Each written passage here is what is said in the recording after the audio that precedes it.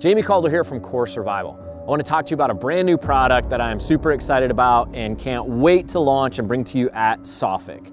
This is the Gentex OpsCore next generation headborne system. Everybody is used to your normal helmet system and all the different accoutrements and accessories that we run on our helmet, but everything has its own battery source and power, and that can run into complications. One, a weight complication, and two, battery life complication. Well, we have solved that problem. So now instead of having multiple batteries that you have to worry about, everything is powered by one battery box that powers the RaiLink system, so all the accessories plug directly onto the rails. So you have Core Survival's HEL-STAR rail strobe that talks through the rail to each other so they blink simultaneously and gets all the commands from either side.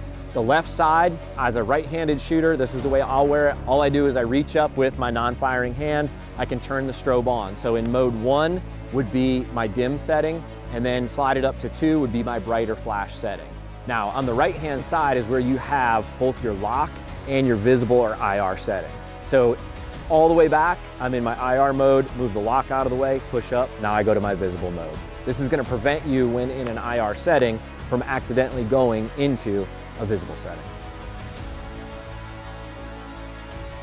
Princeton Tec has a light that connects onto here, and then Surefire has their light. And then of course, tying in your night vision, whatever that solution may be for you, either an Anvis or a BNVIS system, that can then plug into the RaiLink for power.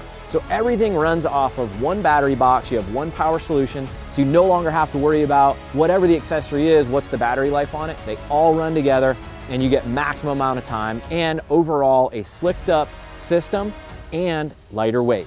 Make sure you guys check it out. Next generation headborne system coming to you, SOFIC 2022.